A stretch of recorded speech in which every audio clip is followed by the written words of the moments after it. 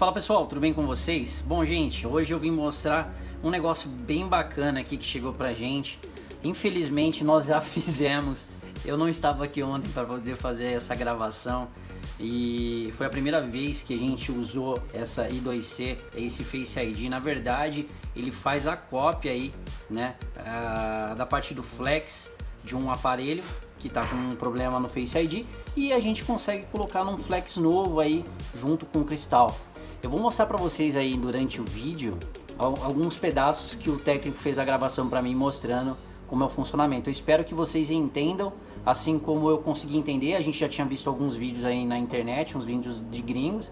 Aqui no, no Brasil eu não sei se alguém já fez algum review, alguma coisa parecida ou não, né? Então vou mostrar um pouquinho para vocês.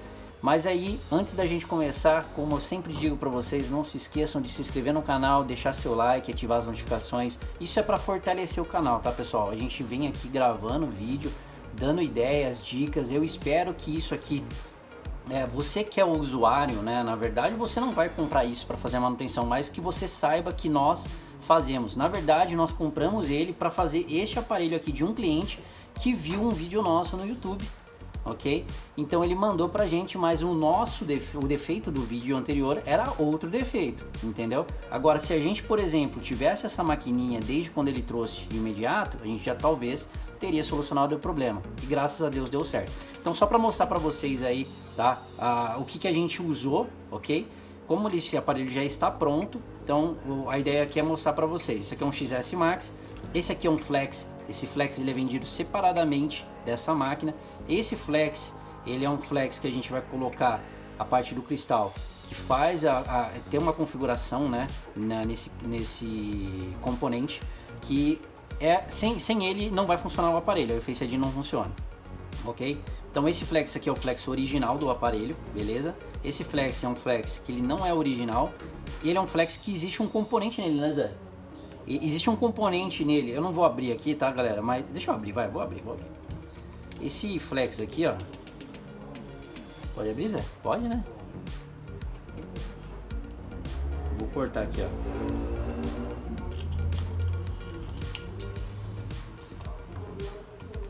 Vamos ver aqui, ó. Pensa o plastiquinho anti-estático aqui. Olha. Beleza. Galera, olha só. Vou ver se eu... Deixa eu... Tô perdido aqui não vem trabalhar faz uma década, né? Ó, galera, e, ó pra vocês verem. Esse aqui, ó, é o original, beleza? Ó, tô mostrando pra vocês igual. Esse aqui não é original. E aí você percebe que aqui tem um componente. Eu acredito que quando a gente faz a leitura deste componente aqui nessa maquininha e a gente faz o teste, faz o read, que ele faz a cópia e a gente regrava, ele regrava nesse componente. Eu acho, tá? Eu não tenho como afirmar isso pra vocês, beleza? Galerinha, eu tive que cortar aqui o vídeo, ó então, ó, mostrando para vocês, esse aqui é o flex, tá? Ó, aqui ele tá rompido, mas é, porque a gente retirou o componente, a gente fez todo o processo. Infelizmente eu não tenho esse vídeo completo. Quem sabe no próximo aí eu coloco aí vídeo na íntegra. Espero que logo em breve. Eu tô com o iPhone X aqui que ele tá com defeito. Quem sabe o cliente não aprova e a gente faz também, beleza? Então, ó, você vai precisar desse componente. Esse aqui é o anterior. Só para vocês entenderem. Essa maquininha aqui, ela faz a leitura do flex e do chip do cristal também, né, Zé? Acho que eles leem tudo. Eu acredito que eles leem tudo. Ó, só para vocês entenderem. Eu vou conectar aqui, ó. E aí você clica no teste. No nosso, você vai ver no vídeo aí. Ele apareceu aqui, ok. O NTC ok. O I2C ok. E o último aqui, ó. Que ele é o, o flash, o LED, perdão. Ele deu NG, NEG. É negativo, É, eu acredito que talvez a malha tá aberta, aí por isso que não tem comunicação, enfim. Então, depois que ele fez essa leitura, você tem que fazer o que? Você tem que clicar nesse read, que é isso que nós fizemos, beleza?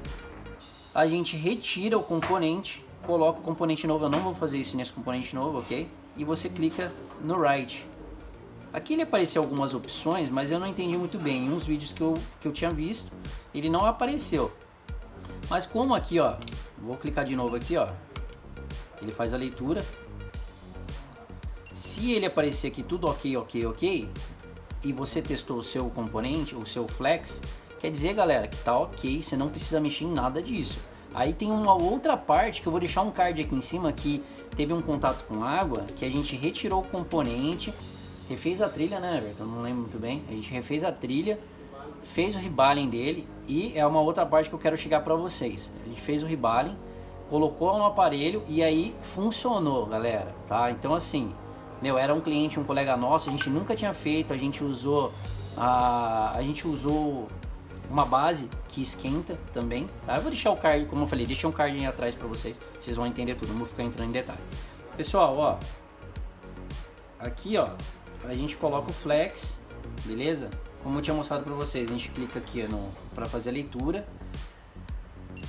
Como ele deu negado aqui, a gente faz o read, porque ele vai fazer a leitura, a gente tira de novo, coloca de novo e dá o write. E aí ele aparece essas opções, ó.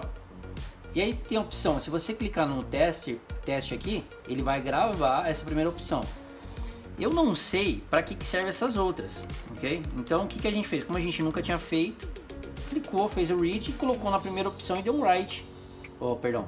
A gente fez aqui, deu o teste e ele gravou. E aí o técnico fosse perguntando, será que funcionou? Porque como a gente não tinha feito, né? É um produto, é um produto novo no mercado. A verdade é essa, né? É um produto novo até então, é, esse aqui para face para biometria a gente não, eu não sei se tem, talvez até tenha, mas para Face ID teve, a gente comprou por uma necessidade aí. Então a gente tirou depois esse flex, fez o processo aí de, de rebaling, tá? Eu vou deixar esse aqui de lado. Eu vou pegar esse aqui para vocês verem.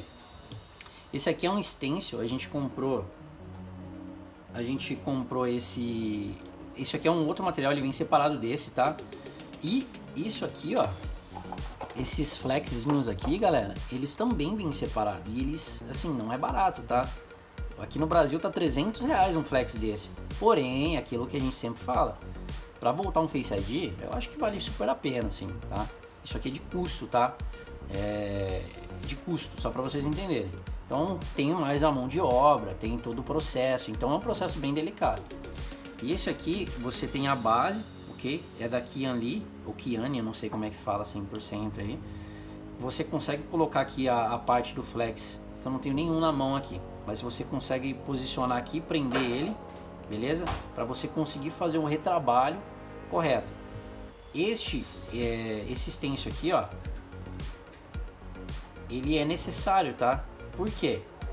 Para você fazer o rebaling aí dos componentes. Quando você tirar, você vai ter que fazer a limpeza, depois você faz o rebaling no componente e coloca nele de volta, entendeu? Ó, então este aqui é este aqui, ó, beleza? Então tem que ser feito.